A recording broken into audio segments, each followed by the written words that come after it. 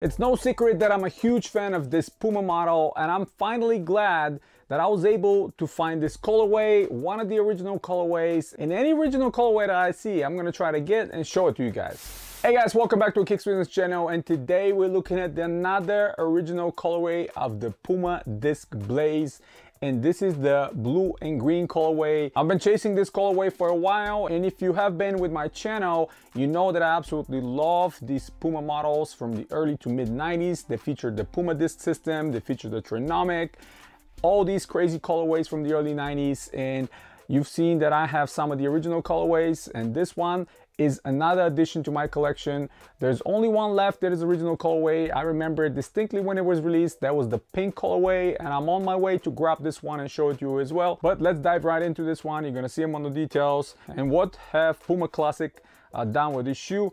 I absolutely love the box. Even, even the paper inside the box is absolutely replicating the same pattern from the inner liner of the shoe, which is that green with uh, kind of a black uh, stripes uh, that are kind of a chaotic all over the place. But I really like that they went to the detail of creating this and Puma Classic always coming through with some very interesting details, matching the paper to the shoe, doing all kinds of stuff to kind of really do a full homage of the model uh, from back in the day. Obviously, this blaze came in back in 1993, and I remember when I was in high school, these were highly sought after. Um, obviously, my first love is Reebok, so all my money, all the little money I had was always channeled towards Reebok. Uh, but I always wanted this Puma disc just because of the system. Puma were ahead of the time with the laceless uh, systems and the disc was excellent. And just like back in the day the disc is functional. Today works great keeps your foot in place uh, all together with no problems whatsoever.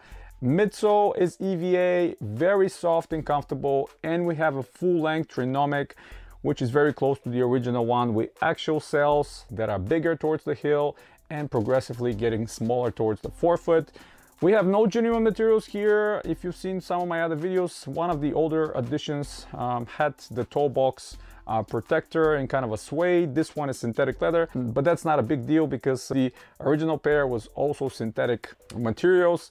All one booty system here. There's no separated tone or anything like this. A bit of a hassle to put these on, but once you put them on, they're not going off your feet unless you really force them. No heel TPU cup here, free flowing, and only is this hard rubber piece on the back that says Puma Disc System. Unfortunately, over time, this is probably going to deteriorate, harden, and crack.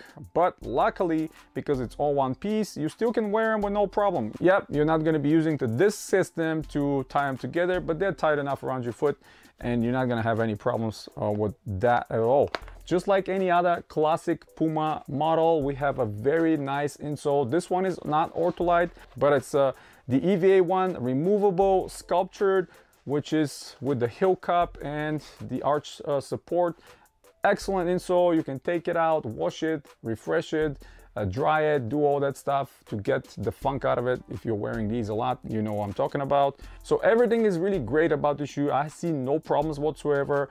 Uh, they are absolutely coming out of the 90s the way you see them. Loud colors, comfort, technology, love this shoe, always have. Grab them on eBay for a very low price. I think I paid like 60 $70 for this one. So I'm extremely excited to add them to the collection. These are gonna be going into my feet as well, just like the other ones. Actually, the uh, one of the Puma Disc Blaze, I'm kind of having on my constant rotation. Anytime I have to just throw them on my feet and walk out, maybe I spend extensive amount of time outside of the house uh, because I don't need to lace them and they're super comfortable and my feet are not getting tired whatsoever. On feet, they look amazing, just like any other classic 90 shoe that you see on my channel.